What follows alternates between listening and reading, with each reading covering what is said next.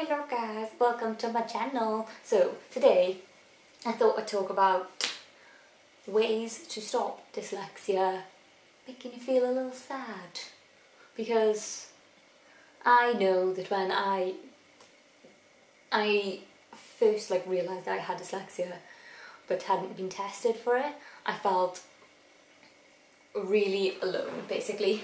Sorry my feet is cold. My feet is cold. My foot is cold. Um, I felt quite alone. I didn't really have anyone to talk to about why I couldn't read and every time I tried people would laugh at me and I felt really embarrassed and there was words that everyone else knew how to read and I just couldn't and it made me feel real stupid. And I think that hopefully this will help you guys feel less sad. Just watch. Hopefully it helps you a little bit. If it does, I'd love to know with a like, subscribe if you want to watch more, and continue to watch, obviously, if you'd actually be interested in watching this video. If not, click off. Bye. Okay, this is one that doesn't make you feel better at the time, but it will do in the end. Continue to read and continue to try. Really, please just do it. Like, oh, I found it so hard to read. And I can remember very vividly trying to read and people laughing at me and my sister calling me stupid. And all I wanted to do was give up and not try to read. And I feel that is not the way to do it. Because yes giving up was a lot easier but also if I if my mum had let me give up when I was younger then I'd never be where I am now. I'd never be able to get into uni. So I feel like I know it's hard and I know it's horrible but you just have to get through it. You just have to force yourself into doing these horrible things because what is the saying that I've seen? Nothing good comes out of being in the comfort zone.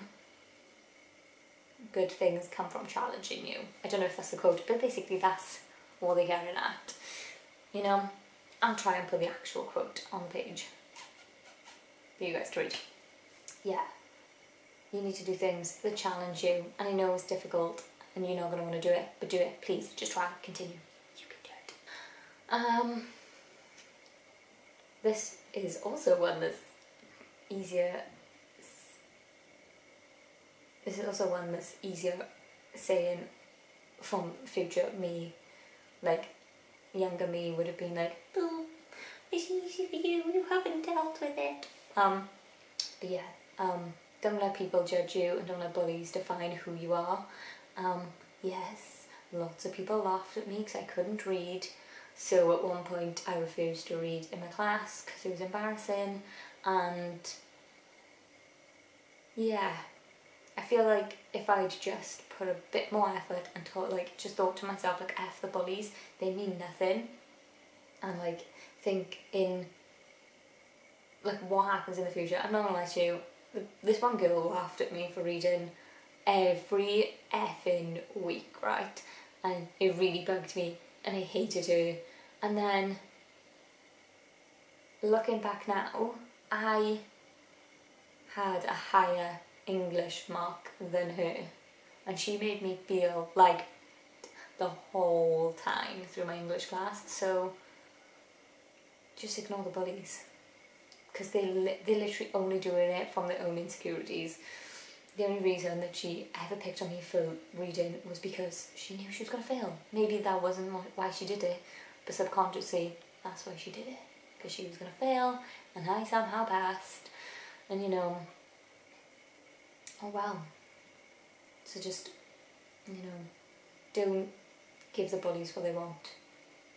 Just hold your head up and read, even if it is hard. Maybe not actually read because, you know, I, at some point I was given the chance to actually not have to read in class, which was nice enough.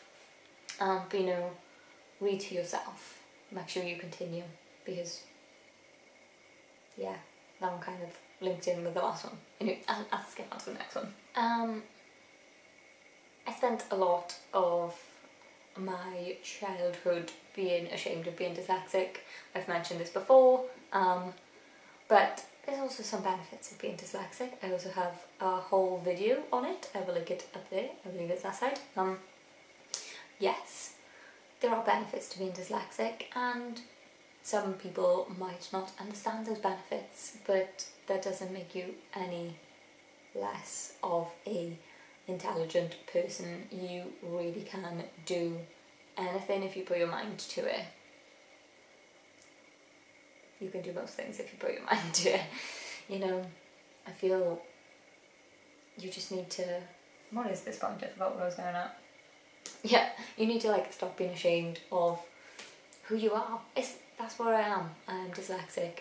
I cannot read very well, and still, like if I meet new people, I will not say I'm dyslexic. And I've, I've said this before in a video. So James, before he knew I was dyslexic, his mother used to try and get me to read these these stupid sayings. They were literally just things that made her laugh.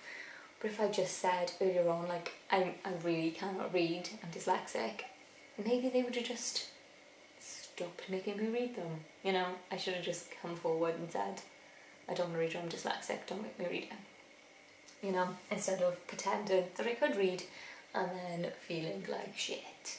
Find out the best way that you learn. So, all the way growing up, people have said to me, the best way for you to learn is via a mind, via, via a mind map. Through a mind map or brainstorm or wherever it is called. Was the, you know, the big bubble in the middle, say like, dyslexia, and you have little things sprouting off people have always said that that is the best way for me to learn, but that ain't because me trying to create one of those things, stressful. I cannot do it. Don't know what it is. Drives me insane. Can't do it. Cannot do it. No. So um, I found a different way, which is literally just sitting and doing past papers. That's the way I learn best. I literally just do past paper after past paper after past paper. I put little notes in my phone and literally just ask me a question and then I'll have down the bullet points. Um, yeah, and this this works in most exams realistically. Like fair enough, there's some where it's more of a theory, you need to put it into context, but like if they ask like like with law, take that as an example, um, they, there's only a certain way it can go. If they're asking you about one topic, there's only certain things they can ask you about. And with maths, there's a formula that you have. And with English, there's themes, you know? As long as you know those those things in detail, you can't go wrong. For me, anyway, that's how I learn. Other people, not so much. Mine, yes. I think I have a video on that. Um, on the apps I use for studying. I'm not sure. I will look and link blow if I do. And last but not least, um, remember how far you've come. Like, if, now looking back, if you told 15 year old me that I would be in uni actually passing my exams, including doing a 2000 word essay, I'd be like, no, I'm not. There's no chance I could write that essay because I can't write and I can't read and I'd never get to uni. That was it. That was my mindset at the time. But also, if 15 year old me could go back and talk to 10 year old me and say, you know, you're, you're going to be doing good in school, you're actually going to be able to pass all your exams, you know, 10 year old me would be like, no, I'm, I'm not going to be able to because I can't read. so I'm meant to pass all my exams. But somehow, you know, you do it. So just think, like, you've come a far way. It's not something easy to do, obviously. Good things don't come to those people that get it easy. No, definitely not saying. James always says, like, if if a degree was easy, everyone would have one, which is true. If accounting was easy, everyone would be an accountant, but it's not. And same with being a lawyer or, you know, other like jobs that you have to go to uni. You don't have to, but you know, jobs where uni is part of the syllabus really. Yeah, so that is it. Um, that is my five things not to let dyslexia get you down. So should we just quickly recap? I'll have my phone in my lap so you can see it. Okay. Keep doing the hard tasks because you they all mount up in the end it's good for you. Don't let bullies or other people judge you. F them. You're better than them. Um, don't feel ashamed of being dyslexic. You wouldn't be ashamed of, I don't know, having ADHD, so why be ashamed of dyslexia? It's all the same, you can't control it. Um, find your best learning method and stick to it no matter what people say um, and remember how far you've come because you, as long as you are con constantly improving you are always better than you were yesterday. Yeah bitches. That is this week's video. I, I don't know I feel like that was a good video. Please let me know if you think this was a relatively good video with a like uh, next week, I thought, as is the end of the month, we would round off with saying a bunch of people that have, a bunch of celebrities that have dyslexia, and a bunch of people that have dysle dyspraxia. Um, I know a lot of, there's a lot of news about people, like celebrities with dyslexia, so I thought I'd also check in some people with dyspraxia to mix it up a bit. Um, yeah, that'll be up next week.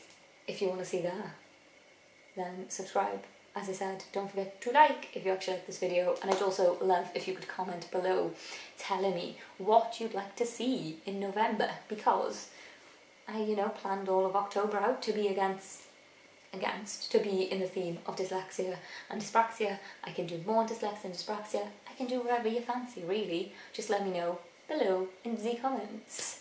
Um, if you watch regularly, obviously it makes more sense if you just tell me what you want to watch instead of me putting up a video that I think you would want to watch and then turns out you don't and then you watch it for nothing. Or you kind of half watch it you know? So yeah tell me what you'd like to watch. I'd love to know. That's the end of the video. I will put things up for you to watch other videos or to subscribe. Here. See you next week. Bye